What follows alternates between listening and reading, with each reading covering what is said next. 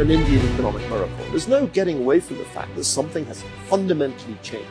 The India that I first got to know 20 years ago has it's begun to vanish. That India is being replaced by a new, extraordinarily dynamic India. What that means for ordinary Indians, millions and millions of ordinary people, is a massive improvement in their living standards. Well, I think what's vanished is the sense that you can never do anything about India's infrastructure, which I, I remember being told repeatedly 20 years ago.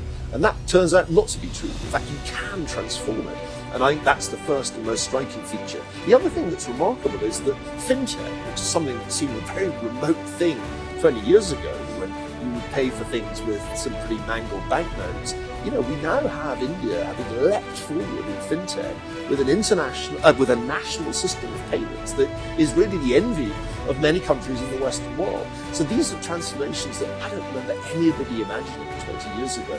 And they're creating, of course, opportunities for Indian businesses, not just in digital services, we kind of saw that coming maybe 10 years ago, but now also in manufacturing.